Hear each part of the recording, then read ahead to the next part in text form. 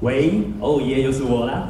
好，第二首呢是我们 Coldplay 的主曲。那 Coldplay 就是酷玩乐团，那就是要来我们台湾开演唱会那一个啊，买不到票没办法，只能自己吹，真是的。